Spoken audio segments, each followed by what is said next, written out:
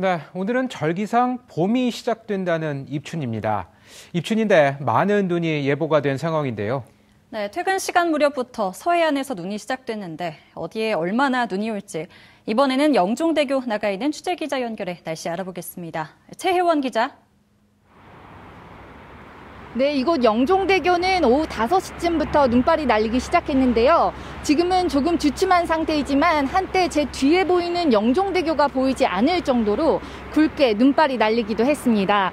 서해안에서 발달한 눈구름대가 수도권으로 유입되면서 서해안부터 눈이 내리기 시작한 겁니다.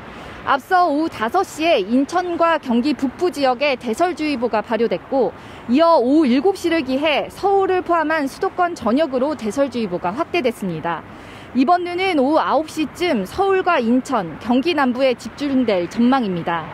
눈은 내일 새벽까지 경기 동부에 최대 15cm, 서울과 경기 서부에는 3에서 10cm 내릴 것으로 예보됐습니다.